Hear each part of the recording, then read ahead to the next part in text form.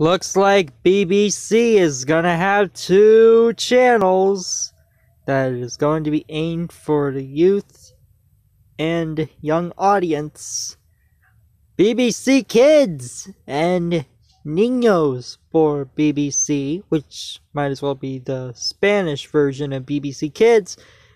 They're both coming to Pluto TV and shows that will be in that live TV channel on Pluto TV, which is free, including Sarah and Duck, Andy's Prehistoric Adventures, and Mr. Bloom's Nursery. So you might as well expect a lot of CBeebies shows in this channel that's coming out.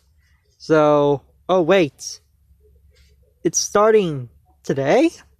Well then, that's pretty interesting. Uh, or yesterday, at the time of that article.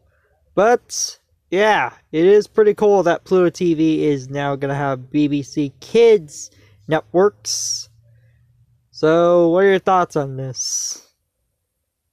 It's nice to see Sarah and Duck. The last time I saw that series, it was on Sprouts.